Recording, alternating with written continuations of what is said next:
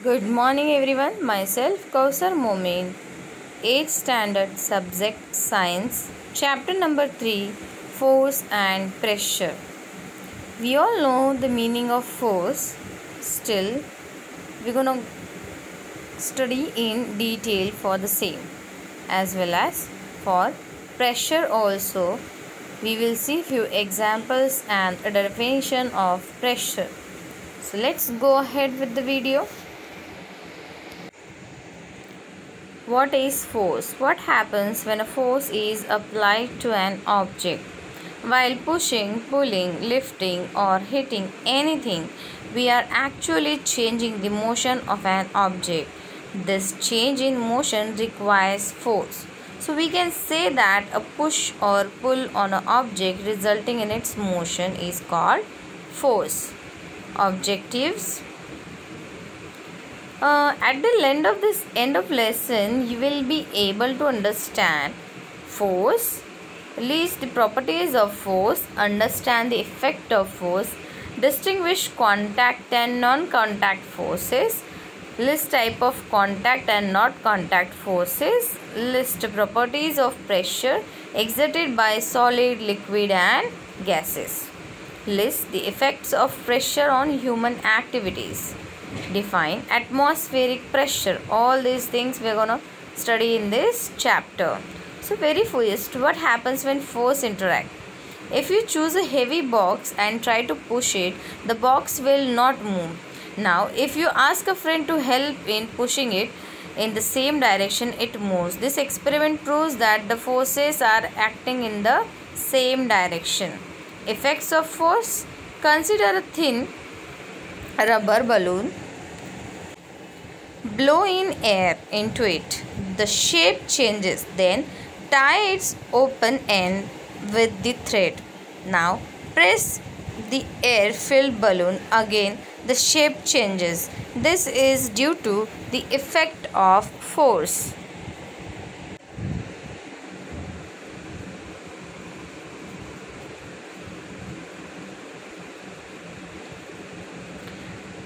When you play football, the football is kept in the center of the field. When you kick it, it moves towards the given direction. Similarly, in the kitchen, your mother makes balls from dough and rolls them into chapatis. In this case, she is applying force to make them flat. One can change the direction of the object by applying suitable force on it. For example, in cricket, the speed of the ball hit by a batsman reduces to zero when the fielder catches it. Also, if you kick a moving ball, the speed of the football increases. Kinds of force There are two major types of forces contact forces and non contact forces. Example for contact muscular force and force of friction. For non similarly, examples of non-contact forces are magnetic force, gravitational force, etc. Can you push or lift a book lying on the table without touching it? Or can you lift a bucket of water without holding it? In both the cases, answer is no. Generally, to apply a force of an object to our body needs to be in contact with the object. So, we can say that contact forces are the forces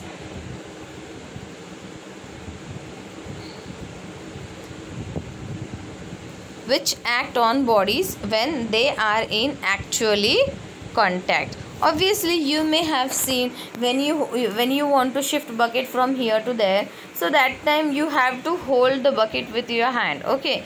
If you want to lift your book you have you need your hand to lift it obviously. So without touching it is not possible. So that is why after touching you are lifting book after touching you are carrying your bucket. So all these uh, you are contacting your hand to the bucket to hold you are contacting your hand to the lift book. So when you are touching it you need to apply a force a small amount force or large amount force. But all forces you are applying due to touching the object. So that means it is it can it can convert it into contact force. Okay so that is why this definition is there for the contact force. And it is to apply a force of an object our body needs to be in contact with the objects. So we can say that contact forces are the forces which act on bodies when they are in actually uh, actual contact okay? Basically these are of two types of forces muscular force and friction force so very first part is muscular force. When we push an object such as a box or lift a bucket of water, then the force is caused by the action of muscles in our body. This force is known as muscular force. obviously yes we can say uh, this answer is correct because you when you are lifting bucket at that time you have to apply a force. And that time the whatever muscles of your body those are working in condition so that is why this force is called as muscular force. For example, cutting the vegetables or fruits with the help of knife, hammering of nail with the help of hammer, pulling a cart by horse, now next type is force of friction. Do you know why a heavy box on pushing does not move? Why a rolling ball stops after some time? So when an object moves in contact with another object, a force known as friction comes into play.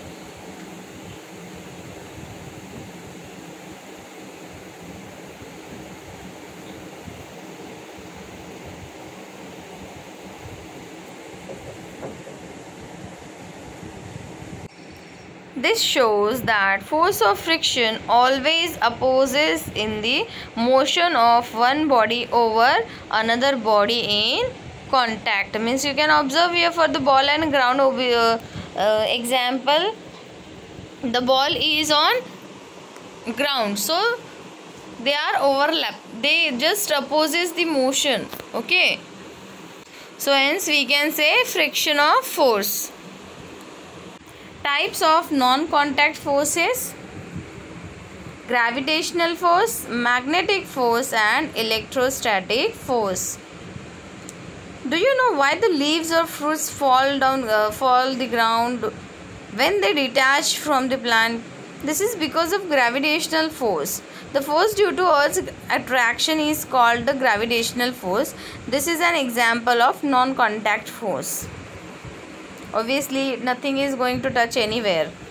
Now the force between two magnetic poles placed at a suitable distance is called magnetic force in which like poles repel while the unlike poles attract each other.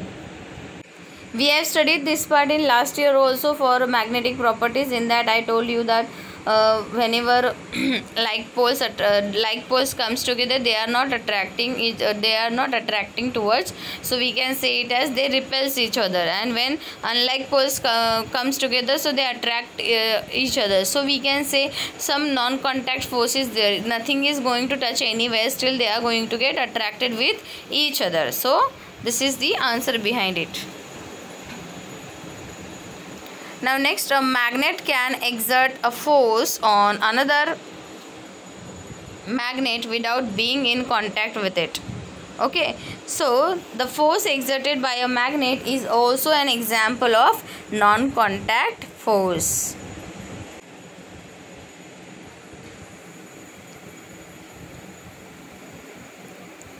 Do you know when we rub a tube through dry cloth and being bring it near the thread, the thread is attracted towards the thread. This is because on running the tube through the dry cloth an electric charge is generated on the tube. This is called the electrostatic charge and this is an example of non-contact force.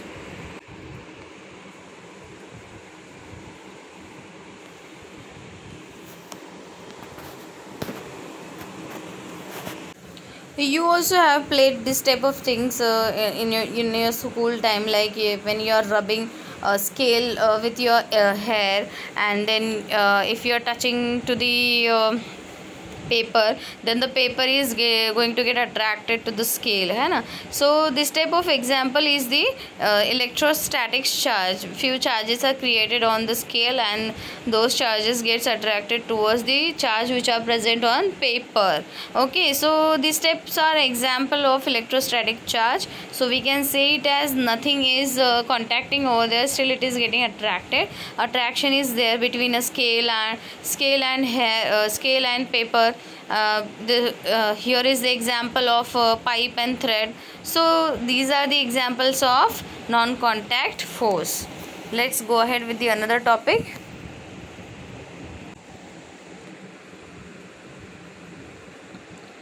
Take five wooden boxes of nor- uh, almost the same size. Fill them with the scrap iron to make them heavy. Arrange these boxes on a wooden table, placing them side by side. See the impact of the push force from these boxes on the table. You will notice that table remains normal and it is not affected by the push force that is weight of boxes upon it. Okay. So all this study we are studying related to the pressure now next is just put a block on one another so you will able to observe over here that the table gets bent so can you guess why does this happen though the force applied in both the cases was same but in the first case impact is less and in the second the table bends. This activity proves that both the force and its coverage area are important. And smaller the area on which the force acts is greater is the impact and this phenomenon is known as pressure. This phenomenon is known as pressure. Here is the pressure. At downside you can observe pressure. We can also say that pressure is related to the force. Pressure is related to the force. Because when we are keeping these blocks in horizontal way so a lot of area was covered over there. Now when we are keeping these uh, blocks on one another so you can observe here the table gets bent. So we can say the effects. This activity proves that both the forces coverage area important. The area is also important. Smaller area which act the greater area is impact on the phenomenon. And this phenomenon is called as pressure. Daily life example of pressure. Have you ever noticed that why school bags have white straps why sharp knife cuts better as compared to blunt knife? And why the tip of the needles is sharp? In our everyday life we all experience the impact of pressure. A school bag has wide straps so that weight of bag may fall over a large area of the shoulder of the child thus resulting in less pressure on the shoulder and due to less pressure it is quite comfortable to carry the heavy school bag read the answer carefully it is very important this type of question also will be there Second is a sharp knife has a very thin edge. It cuts object better because the area of contact is very small. The force of our hand falls over a very small area of the object producing large amount of pressure and this large amount of pressure cuts the object easily. Obviously you may have seen this type of example at home also.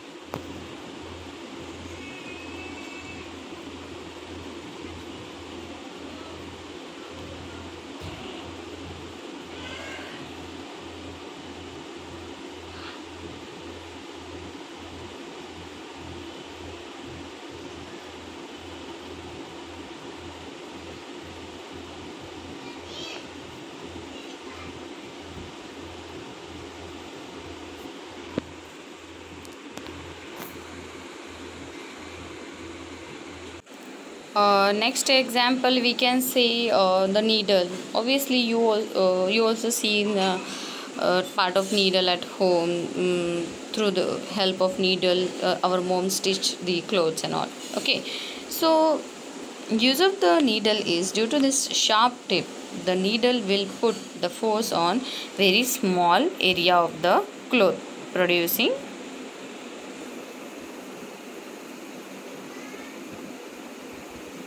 a large pressure sufficient to pierce the cloth being stitched. do liquid and gases also exert pressure like solids? Do you know what happens when you blow air into a balloon?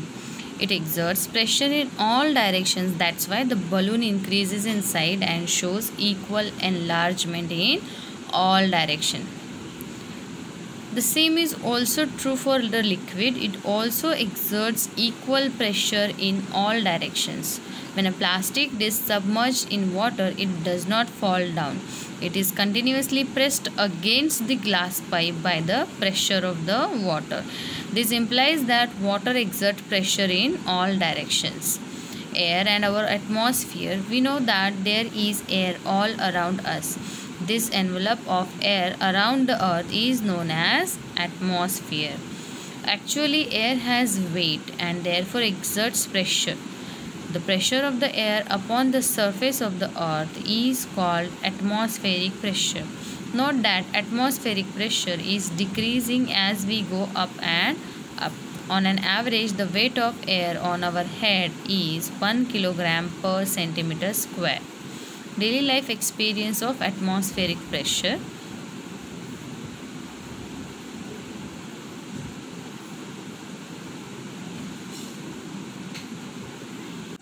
Do you know what happens when you sip the cold drink? the air pressure inside the straw is reduced and the air pressure on the surface of the drink pushes the drink up into the straw to reach our mouth. In case of syringe, the doctor dips its nozzle into the liquid and pulls the piston thereby lowering the air pressure inside the syringe.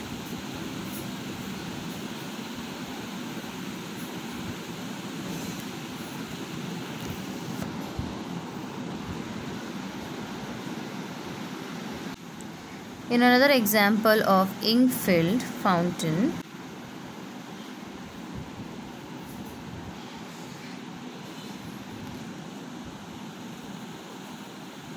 pens that have rubber tubing, the rubber tube is pressed to push out the air from it, thus reducing air pressure inside the tube.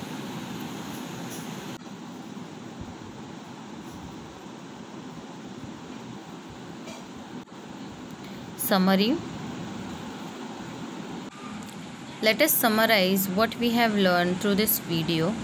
First point force is a push or pull resulting in motion of a body force can change the shape of an object move an object from the position of rest change the direction of a body in motion and change the speed of the moving object.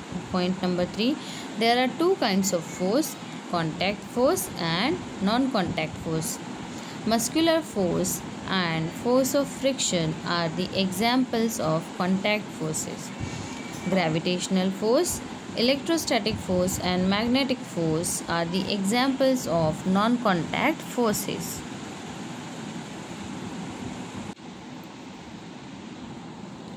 force per unit area is known as pressure pressure is nothing but force per unit area as we have seen the examples of wooden block the area when we uh, when we kept on the table blocks in horizontally the table is not getting bent. But when we are keeping on one another the table is getting bent.